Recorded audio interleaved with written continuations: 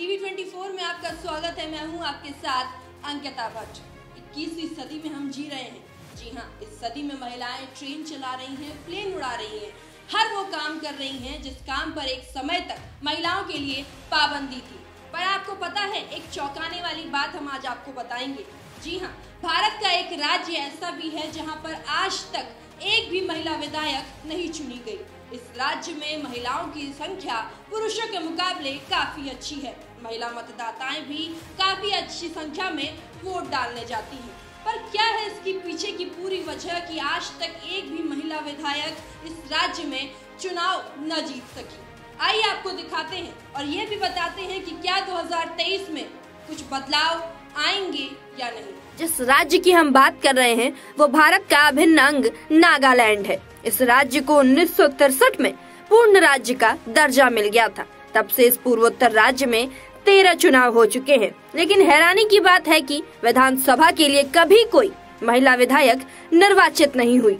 यह तब है जब देश में इंदिरा गांधी, जयललिता, मायावती समेत कई महिलाओं ने शक्तिशाली पदों को संभाला है। नागालैंड में अच्छे सामाजिक पैरामीटर होने के बावजूद ऐसी स्थितियाँ क्यों हैं? इसे समझना बेहद मुश्किल है। नागालैंड की महिला साक्षरता दर छिहत्तर दशमलव एक एक प्रतिशत है, जो राष्ट्रीय औसत प्रतिशत से काफ़ी बेहतर है। इसी के साथ राज्य में कई महिला अधिकार संगठनों का भी अच्छा खासा प्रभाव है। नागालैंड में अभी तक केवल 20 महिलाओं ने विधानसभा चुनाव लड़ा है। 2018 में चुनाव में पाँच महिलाओं ने चुनाव लड़ा था। ये संख्या अब तक की सबसे अधिक थी। इन उम्मीदवारों में तीन को वोटों का छठा हिस्सा भी नहीं मिला। आपको जानकर हैरानी होगी कि राज्य में अब तक जिन 20 महिलाओं ने चुनाव लड़ा है, उनमें से 13 का भी यही हाल हुआ।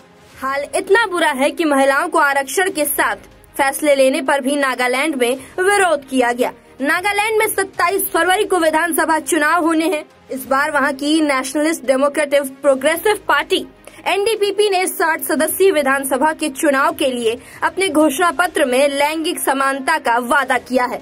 2023 विधानसभा चुनाव में चार महिलाओं ने नामांकन दाखिल किया है। सभी की निगाहें दो मार्च पर टिकी हैं। अब यह देखना दिलचस्प होगा कि नागालैंड की राजनीति में कितनी महिलाओं का चेहरा सामने आएगा।